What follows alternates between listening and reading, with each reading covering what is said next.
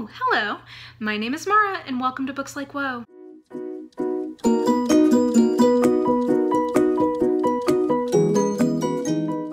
Okay, so it's time for another installment of my Know Your Trope series, and I thought it'd be appropriate to do this around about now because uh, if you haven't noticed, there's been a lot of videos about Kate Daniels up on my channel recently.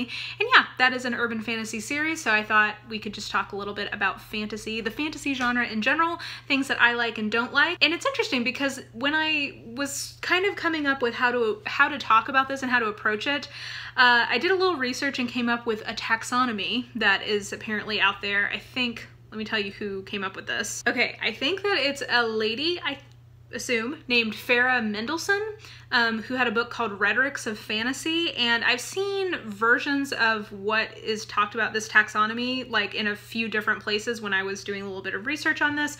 So I think it's fair to say maybe this is sort of the way that people classify fantasy or talk about it. Um, and I wanted to look it up because I think fantasy is somewhat of a difficult genre to talk about meaningfully because it encompasses a lot of different things. Like when you just hear that word fantasy, anytime there's some sort of like supernatural or magical or whatever element, in theory, you could call that a fantasy. So I wanted to get some kind of terms under my belt to help me organize my own thoughts about how I feel about the genre. Because what I've come to realize in the process of doing this is that really for me, there's sort of three key things that I look for in books in general. And my preference is for a book to have at least two, if not all three of these things. I like a mystery plot, I like a romantic element, and I like a fantastic world.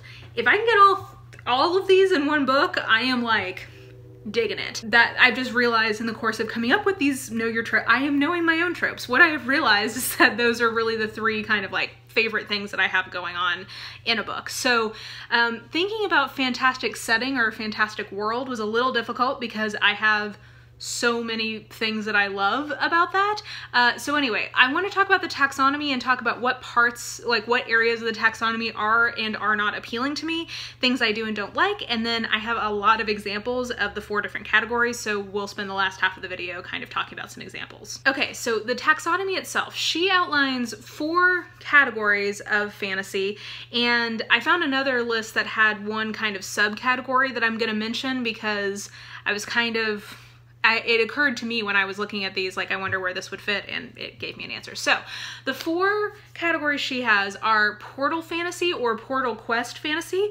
These are books where our world exists, a character from our world falls into another world classic example of this is Chronicles of Narnia. Okay, so like that is a portal fantasy, and there's there's a lot of examples. We'll talk about those, um, but that that is one category. Another category is what she calls intrusion fantasy. Intrusion fantasy is where our world exists as is, but there are also magical elements that exist in parallel to our world. So you can kind of think of this as like one step removed from portal fantasy. Um, I'm trying to build towards the most fantastic, but um, so our world exists completely as normal, but what our people in our world in this book do not know is that there is magic that exists. And that magic intruding on the story is what is driving the plot. So portal fantasy is our world is totally normal. There's a separate world. There's a magical or fantastical way that somebody from our world goes to another one. Intrusion fantasy is kind of the opposite. This other magical world is intruding on our reality where there's still no magic normally and then that's what's driving the conflict. A liminal fantasy is where uh, magic exists and it is in what appears to be our world, but there are magical elements in our world that the characters in the story do not find odd. So you as the reader, so like if uh, all of a sudden ley lines were really a thing in our world, so like our entire world is the same except instead of cars we all use ley lines and nobody in the story thinks that's weird, that's a liminal fantasy. So that's like one step further because magic, are it is recognizably our world, but magic is also intertwined with our world.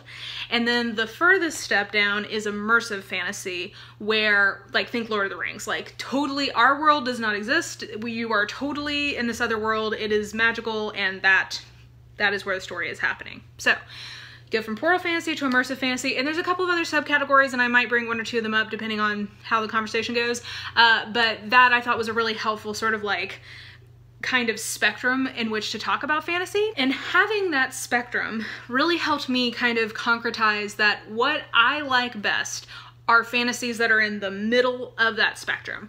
Meaning, I like intrusion fantasies and I really like liminal fantasies. Liminal fantasies are my favorite. So when I'm thinking of liminal fantasies, I'm thinking of things like magical realism and I'm thinking things like urban fantasy. Those are probably my two favorite flavors of fantasy. Um, I also quite like intrusion fantasy, uh, where we basically I like anytime there's some part of our world that's recognizable, but there's also magic thrown in. Um, and of course, I also have examples of portal fantasy that I like and immersion, but what I realized in doing this kind of like trying to break this down was I really, I tend to be all about things in the middle. And that's because the thing that is most important to me in fantasy is a cool magic system. That is what I'm into, like, that's what I'm here for. That's my number one thing. So it's not so much the world building because I think that if like your favorite thing is world building, I think immersive fantasy is more your your gig in general and magic system is like a part of world building and it's the part that I'm most interested in. So I'm happy to not have to have like an entire re-education as to like geography, uh, political, like I don't need that. The only thing, like the thing that I am most excited about, most here for, most like reading this book for is the magic part of the world building. And that's why I think I tend to prefer liminal and intrusion fantasies. I also tend to like um, kind of the magic system part because I think at least traditionally, and I think we've really seen a shift in this in the last few years, which is exciting to me. But I think uh, immersive fantasy has tended to be very dominated by specific cultural paradigms that the writers are coming out of. And again, I think that that's changing and that's exciting. But I really like magic systems that are not just like out of sort of like European mythologies. Like I get really excited when there's like an Asian magic system or an African or what, like just something a little bit different. Um, like I'm really excited. I haven't read it yet, but there is a paranormal romance slash urban fantasy romance. I'm not sure exactly how it's broken down. I guess it's probably closer to, to urban fantasy, but um, romance uh, by Rebecca Roanhorse called Trail of Lightning, and it is like Native American urban fantasy, and that's really exciting to me. So, like, part of what I really like in fantasy is when I'm learning, I'm getting some insight or learning more about mythologies that I'm not as familiar with um, in our own world. And I just, I find that really interesting. In general, I like in fantasy learning about things like magical uh, or fantastical or religious supernatural whatever heritage or kind of traditions from our own world in the form of a fantasy book like i just find that really interesting. Um, so that's also something that i really like about fantasy. I also the most important thing about fantasy or not the most but like thematically what's most interesting to me usually in fantasy is that it has a really strong allegory or metaphor behind it. So when fantasy is done well its literary achievement tends to be in sort of the allegorical or metaphorical realm. I think a great example recently of that was children of blood and bone. It's a fantasy that i think is speaking pretty directly to like histories of oppression and racial subjugation in a in a metaphorical way in a different world. And and basically the reason I think fantasy is so well suited to be able to to get into metaphor is because and maybe again this might be part of why I like like it when our world is somewhat recognizable in the fantasy world. Um, it's able to take things from real life and kind of make you one step removed from it. And I think it's able to sort of take some of the defensiveness out of um, kind of our posture towards different ideas or attitudes and recontextualize it and help us see things in a new way. I think science fiction also does this a lot. That's why I think SFF is a thing. Uh, and I tend to be less interested in the SF piece of SFF, but uh, they're both doing a lot of the same things, which is taking things in our world and sort of allegorizing or, or adding a metaphorical layer to them in the form of magic or fantasy. So I really enjoy that when that's done well in fantasy. Things that I don't like as much in fantasy are what I wrote down was basic bitch medieval fantasy. What I mean by that is generally, like in general, like I've been saying, immersive fantasy is probably my least favorite form of fantasy. I actually have the most examples of it, so I clearly do like it in some forms, but um, it's just not my favorite. Like I think a lot of times, and and again, like I mentioned earlier, I think we're getting better about this, and we're getting more examples of this not being the case. See, Children of Blood and Bone, or right now I'm reading The Poppy War. Like there's some other examples where uh, it's not just like medieval Europe, but with magic. Um, but I think for a long time that was a lot of what was happening in fantasy. And honestly, because I read Lord of the Rings first, like I read that in high school, I then tried to get into, like I tried to read like the Wheel of Time books, for example, and I was just like, this is just bad Lord of the Rings fanfic. And I'm not trying to, if you love those, that's fine. I just, for me, I was like, this is nothing new. This is nothing exciting. So, I mean, and you know, there's some level of, it's not, it's a genre. So of course it's going to have like generic components to it. Like that's the definition of genre is the same thing done over and over again but in slightly different ways. I think just for me that particular part of the genre is not that interesting to me. Like I'm just, I feel like Tolkien did it best and I'm not that interested in reading a bunch of things that are super similar to um, kind of like medieval Europe with a twist. That's just like not my preferred flavor of fantasy at this point. So yeah, like that's not, that's something that I don't tend to like. Another thing, another reason why I don't think I like immersive fantasy all that much is that I don't necessarily have a ton of patience for, a, for really long books where a lot of it is kind of tedious world building. Now that's funny because I do really like Lord of the Rings, but I think maybe it's because I do just feel like Lord of the Rings kind of did it first and best maybe, or maybe I just had like one book like that in me for me to like. maybe uh, I just didn't I don't know. Like maybe that was just all all I had to give was um, my love for Lord of the Rings and then other huge like kind of brick books with a lot of description and a lot of kind of what I think of as tedious world building um, are just not as interesting to me. I really like shorter fantasy books because I think they tend to sort of like get to the point in terms of what you need to know with world building. I, I, think a lot of times authors get so excited about like these really cool worlds that they've built that sometimes they're sort of like, it's almost a little masturbatory to be honest. Like they're really into it, but like, I'm not getting mine and I'm not that interested in it. It's more for them than it is for me. So anyway, that's just my personal opinion. I know some people really do love that like super detailed, really extensive world building. That's great. You do you, boo boo. I just like, for me, that's something that I tend to be less interested in. So with all that being said, I thought that I would talk about some examples and what I do and don't like about them. Um, and I honestly just went through my shelves and like grabbed what I saw. So these are just things that I have on hand, not so much like, some of these are definitely favorites, but like this is just what I could find on my shelf. So in terms of Portal Fantasy, I have three examples here. The first, the best, the OG, is The Lion, the Witch, and the Wardrobe by C.S. Lewis. You know what, I do want to mention, I, I grabbed this book of Other Worlds, Essays and Stories from C.S. Lewis. Um, this and then a couple of essays that Tolkien wrote really are the bedrock of thinking about fantasy as a, as a genre as we know it today. People shit on both Tolkien and Lewis, that's totally a prerogative. I know that they're not going to be for everyone. They they literally defined fantasy as it is. So like I do think some respect is due to them just in terms of like they are the innovators of this genre and they gave it to us they gave us the genre so they did a lot of the original thinking like like i said this book of other worlds and and essays um, between that and the the essays that Tolkien wrote, they were really making a case for fantasy being a genre that adults could read that was both for adults and for children.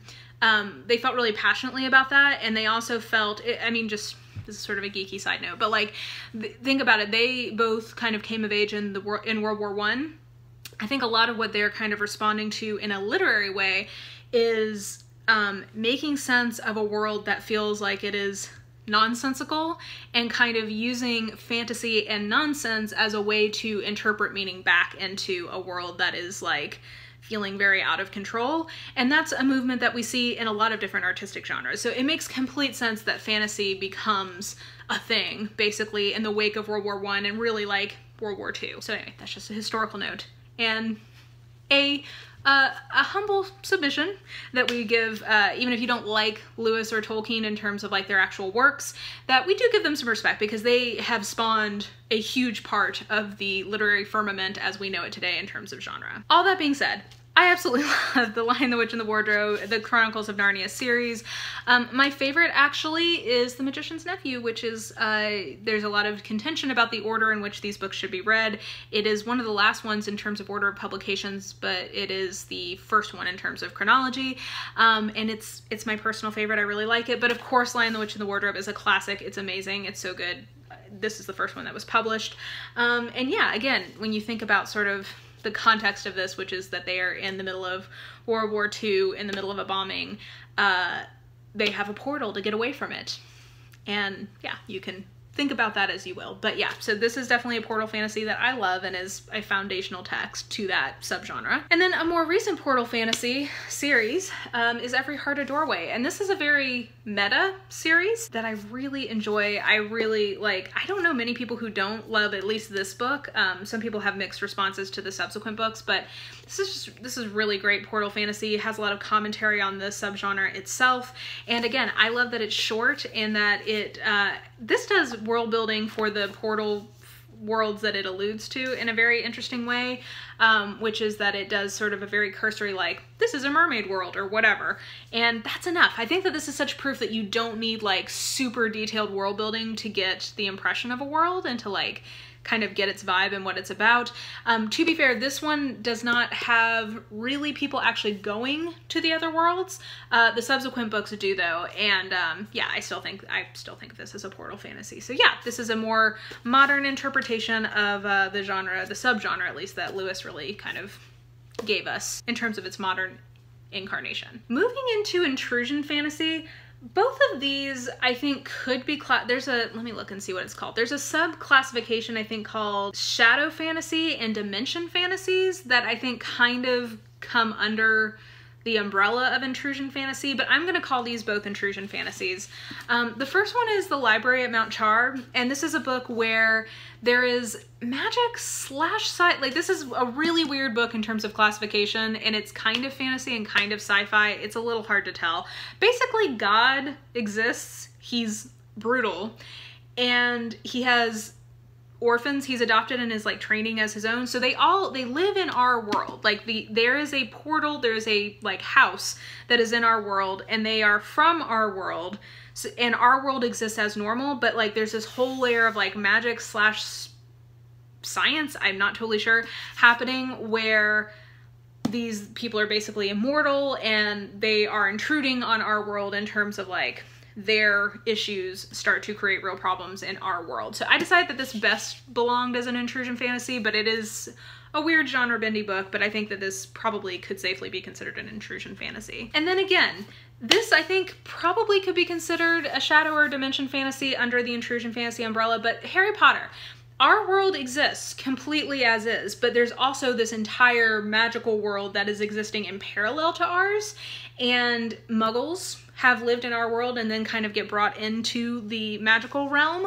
Um, so yeah, again, I'm not, I'm wondering if there's more, if there's more taxonomies that would have a more precise classification for what this is, but essentially like this is a, I guess a dimension fantasy in the sense of there are two dimensions coexisting in our world which is recognizable to us and then harry is from our world and is, is discovering this this world that exists in parallel to ours while completely understanding our world and being from our world, if that makes sense. So I decided intrusion was probably the best classification for this type of fantasy, and I really like this type of fan this type of intrusion fantasy where there is a magical world that exists completely exists secretly in parallel with our own that is one of my favorite tropes and i think you know harry potter is sort of like maybe the best example of that, but I find this really, really satisfying. Okay, and then the final kind of intrusion fantasy example I thought of was The Rook by Daniel O'Malley, which I don't have a physical copy of, but it is, so the main character wakes up in somebody else's body and that the owner of that body has been existing in a parallel magical world. Again kind of a dimension fantasy or shadow fantasy. I'm not totally sure what the taxonomy there is.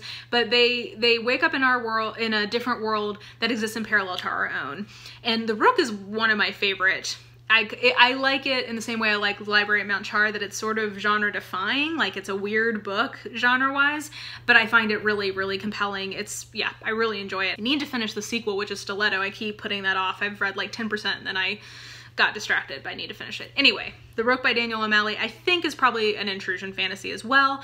And then the other thing, I guess I didn't, I, I don't have any specific examples of here, but I would consider paranormal romances where uh, the rest of the world does not know that there's a paranormal element that exists, I would consider those probably to be intrusion fantasies, and I do like those where there's like vampires or werewolves or whatever, fae, and they exist in our world, but they are like a secret society or whatever. I, I like those too. Okay, so now we get to liminal fantasy, and I would say that probably liminal fantasy might be my favorite of these groupings, just because um, it has things like urban fantasy. It has things like magical realism, and then paranormal romances where everybody knows about the paranormal element. Like all of those I think would fall under liminal fantasy probably. Side note, if you know more about this, feel free to leave things in the comments. This is just me like trying to understand genre classifications and I may be totally wrong about some of this, so side note. But I think that's where, I think all of those subgenres would fall under liminal fantasy and I really like that. So a few examples. Um, another thing I like is like alternative timeline or alternative history with some kind of magic. That is Dread Nation. So this is Reconstruction era historical fiction with zombies. So it's a world that looks like ours in the sense of like the American Civil War has happened, but the difference is that it was ended because there was a zombie outbreak and we all had to stop and deal with that. So I would consider that to be probably a liminal fantasy um, in the sense that it is our world. People, the characters in in the world are not surprised by the magic, but the magic exists. So this is uh, the example I found for sort of like alternative timeline liminal fantasy. Then two examples of one being uh, urban fantasy romance and one being paranormal romance. So this is paranormal romance that I would consider to be liminal fantasy because it is our world. It takes place mainly in San Francisco and like the surrounding area, but the difference is everybody knows that there are were creatures and there are essentially people with psychic abilities and other like supernatural forces. So I would consider this to be liminal fantasy because everybody knows about it and treats it as normal. And then this is, uh, the Kate Daniel series is definitely, I think, urban fantasy romance, but like urban fantasy. And yeah, it's our world once magic has come back into it, so it is set in post-magic Atlanta. So both of these are recognizably our world, but the characters treat the magic that exists in what is recognizably our world as normal. And then a couple, um, one example of magical realism and one example of essentially haunting because I think the that kind of paranormal element I think would fall in liminal fantasy. So the Broken Girls, there is a ghost element of this mystery story and it is treated as normal insofar as like everybody who has seen the paranormal element in this like accepts it. Maybe this would be intrusion fantasy because like ghosts, I'm not sure exactly if a, a paranormal ghost element um, would be an intrusion fantasy or a liminal fantasy. Maybe this is more intrusion fantasy, I'm not sure. But um, I like that where it's pretty much our world but like ghosts are real yeah, like that's something that works for me and this is a great mystery. I really recommend this. I really liked reading this this year. And then the only example I could find on my shelves at the moment for magical realism is How to Be Safe by Tom McAllister. Uh, yeah, this has a subtle magical realism element to it, but I absolutely love this book and any chance I have to mention it and try to make people read it, I will take. So yes, there is magical realism in this and I would consider magical realism to be a liminal uh, fantasy element. And then a couple of sort of like borderline, I couldn't quite decide if it belonged in liminal fantasy or immersive fantasy. Um, or, well, actually one, okay, so one of these is Angela Carter stuff. She always has magical realism in her books. So things like Wise Children, I would consider Wise Children to be liminal fantasy because that is magical realism. Um, and then Bloody Chamber is retellings. Uh, so I would consider that to be immersive fantasy, but she always has some level of fantasy to her books, um, and she kind of moves back and forth between liminal and immersive, and I love all of it. And then I wasn't quite sure what to do with steampunk. So I really do like steampunk. Um, this is probably my favorite example of steampunk, which is Johannes Cabal the Detective. Um, they're completely recognizable elements of our world, and in some ways it's kind of like Dread Nation in that it might be sort of like an alternative timeline. I guess maybe now that I'm talking about this, I do think probably most steampunk probably is liminal fantasy insofar as it's usually either um, European or silk punk is like Asian uh, world, but with certain technological changes in terms of how they developed. So I guess I will go ahead and say that both of these are liminal fantasies, but and steampunk, I guess in general, probably should be considered a liminal fantasy. So I really recommend this. I absolutely, this is my favorite steampunk book I've ever read. It's because it is a mystery plot steampunk slash fantasy setting and there is a romantic element so like this is all the things that i love is are in this book right here so this is probably my favorite steampunk and then um steampunk romance god this cover look at the man titty um the Iron Duke series, the I was it called? The novel of The Iron Seas. So the Iron Seas, there's four of them out right now. I think there's supposed to be a fifth one at some point. But yeah, these are steampunk romance, um, presupposing essentially in England with steampunk setting and uh, zombies. Basically, um, is sort of sort of the setup for this book. So yeah, I guess I would consider steampunk liminal as well, proving further that liminal fantasy I think really is probably my favorite. Okay, and then I've got three examples of immersive fantasy that I that I've been enjoying. Um, yeah, I think it's hard. Like I said, immersive fantasy is probably the hardest sell for me because I read The Hobbit and Lord of the Rings first, basically. Eh, mostly. I, I had definitely liked some YA fantasy before this, but like those were really kind of my first two real experiences with immersive fantasy, and I just think they're sort of the best. Um, and yeah, I really, really love both The Hobbit and Lord of the Rings. Very special place in my heart. The immersive fantasy to rule them all. And yeah, I think you can essentially think, because like Portal fantasy is at one end and immersive fantasy is at the other and basically tolkien and lewis who were like best friends for a while um, kind of are the fathers of giving us those genres in the form that we have them today. So that's interesting to think about. But anyway, yeah, Tolkien is sort of the father of uh, epic fantasy and immersive fantasy, I think. And then a couple of other examples that I've recently enjoyed. One was The Lies of Locke Lamora by Scott Lynch. Uh, yeah, this is definitely what I would consider to be immersive fantasy. It's a world that I would describe as Venice with magic and the tone of the Three Musketeers. Um, I really enjoyed this. At some point I will continue in the series, but yeah, I, this is an immersive fantasy that I really liked. And then I've been doing a buddy read of the Witchland series with a few other ladies here in booktube. And yeah this is definitely immersive fantasy. And one of the ones that I, I have more fondness for than a series that I've read for quite some time. So yeah this is an immersive fantasy that I do quite enjoy.